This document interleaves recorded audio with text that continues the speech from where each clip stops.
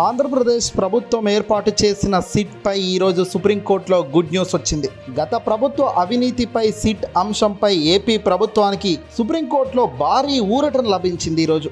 Special investigation team ఏర్పాటుపై stay విధిస్తూ Andhra Pradesh high court ఇచ్చిన తీర్పును సుప్రీంకోర్టు ఈరోజు కొట్టిపారేసింది.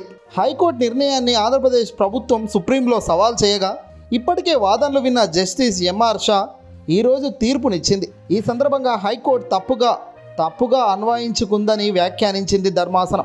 చంద్రబాబు ముఖ్యమంత్రిగా ఉన్న టైంలో కీలక విధాన నిర్ణయాలు అమరావతి టు భూ కుంభకోణం సహా భారీ ప్రాజెక్టులో అవకతవకలు జరిగినట్లుగా ఆరోపణలున్నాయి.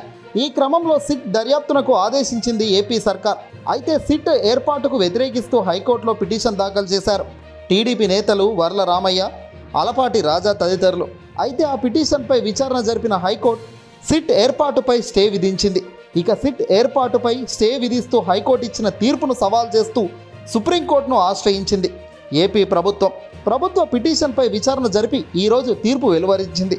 సుప్రీంకోర్టు ఈ సందర్భంగా హైకోర్టు తీర్పును తీరును పూర్తిగా తప్పుబడుతూ వ్యాఖ్యలు చేసింది జస్టిస్ ఎంఆర్ షా.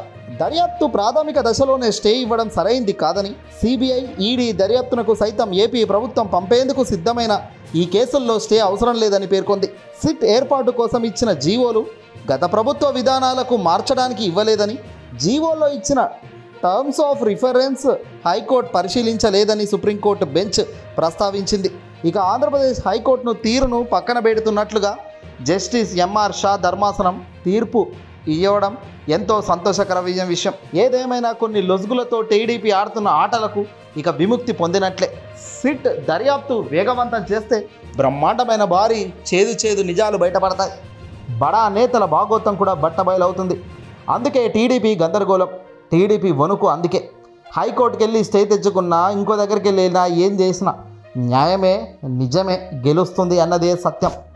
తాజాగా సుప్రీంకోర్టులో గెలుపొందిన ఏపీ సర్కార్కు ఆల్ ద బెస్ట్ చెబుదాం. ప్రతి కేసుల్లో నిందితులను పట్టుకోవాలని ఖచ్చితంగా చట్టపరమైన శిక్షలకు బడా నేతలను పంపాలని కూడా మనసా కోరుకుందాం.